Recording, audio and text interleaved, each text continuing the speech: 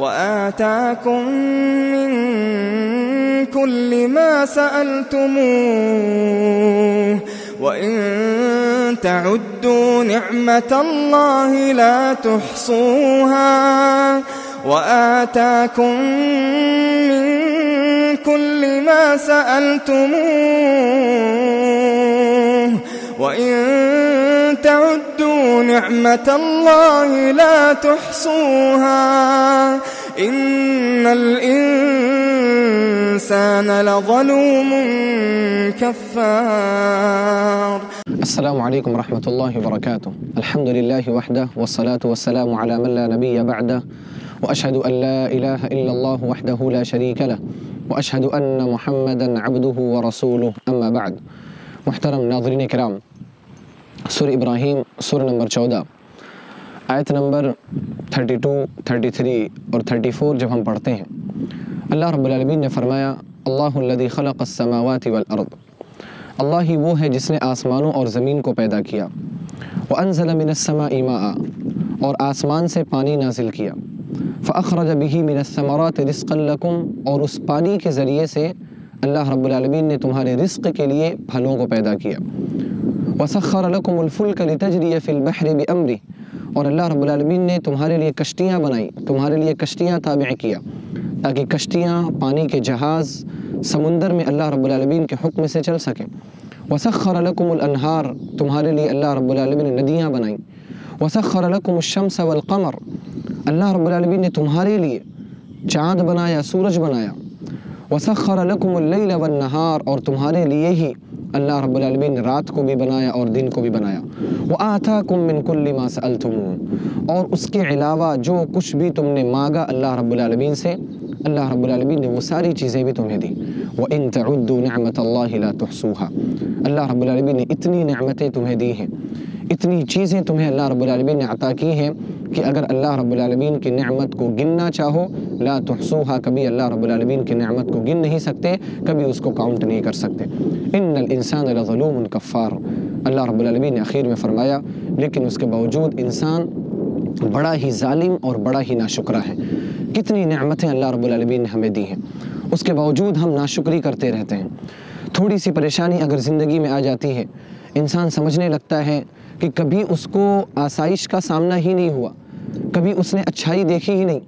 اللہ رب العالمین کے خلاف انسان جملے کہنے لگتا ہے، تقدیر کے خلاف انسان جملے کہنے لگتا ہے، دین سے دور ہو جاتا ہے، اپنے نماز، اپنے روزے، اپنے نیکیاں، وہ ساری چیزیں گنا کر کے بیٹھ جاتا ہے۔ میں نے اتنی نیکیاں کی، میں نے اتنے نماز پڑھے، کیا کمی رہ گئی تھی میری عبادت میں؟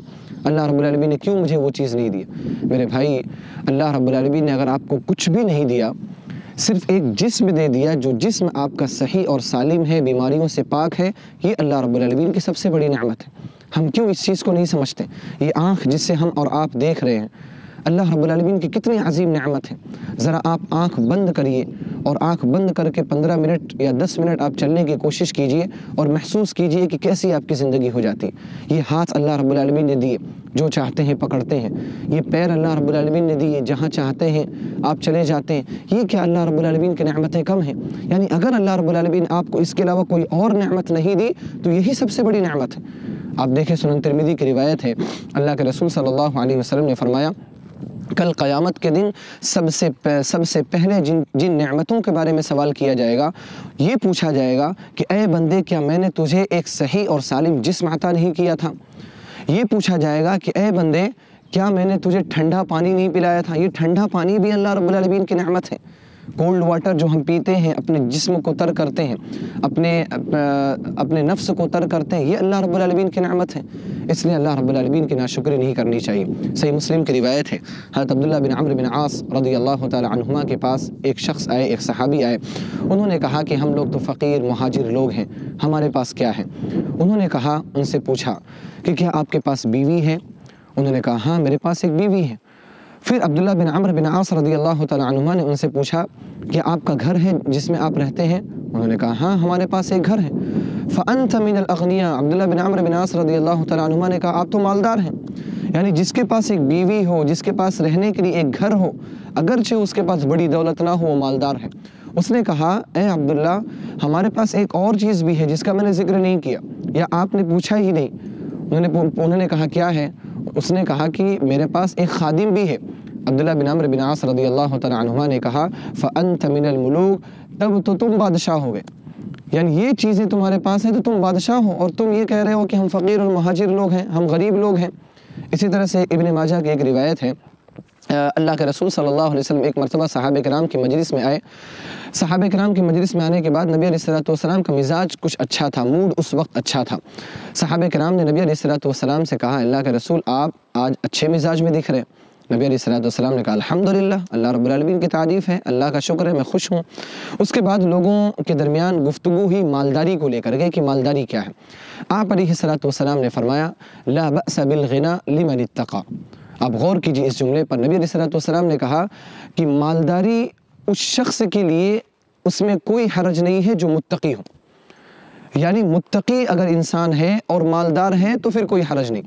لیکن اگر متقی نہیں ہے، شریعت کا پابند نہیں ہے اور اس کے بعد اگر اس کو مالداری ملی تو پھر یہ اس کے لیے خطرناک چیز ہے۔ اس کے بعد آپ علیہ السلام نے فرمایا، وَالصِّحَّةُ خَيْرٌ خیر من الغنا انسان کا جسم صحیح سالم ہونا، انسان فٹ رہے چاق و چوبند رہے، صحت یاب رہے، یہ اس کے لیے مالداری سے بہتر ہے۔ اور نبی علیہ السلام نے فرمایا وطیب النفس من الغنا اور انسان کا اچھے مزاج میں ہونا، اچھے موڈ میں ہونا، یہ بھی اس کی مالداری ہے۔ تو آپ دیکھیں، نبی علیہ السلام نے کن چیزوں کو مالداری سے تعبیر کیا ہے۔ آج ہم یہ سمجھتے ہیں کہ ہمارے پاس کروڑوں کی جائیداد ہو تب ہم مالدار ہیں۔ آج ہم روتے ہیں کہ ہمارے پاس بائسکل ہمارے پاس سائیکل نہیں ہے، ہمارے پاس کار نہیں ہے، ہمارے پاس فلیٹ نہیں ہم ان چیزوں کے لیے روتے ہیں۔ اگر ہمارا ذرہ برابر بھی نقصان ہو جاتا ہے، اس کے لیے اللہ رب العالمین تک ہم پہنچ جاتے ہیں۔ یا اللہ رب العالمین کی بنائی ہوئی تقدیر کے خلاف ہم باتیں کرنے لگتے ہیں۔ وَإِن تَعُدُّ نِعْمَةَ اللَّهِ لَا تُحْسُوهَا میرے بھائیو اللہ رب العالمین کی نعمتیں اتنی ہیں، اللہ رب العالمین کی نعمتوں کو گن نہیں سکتے۔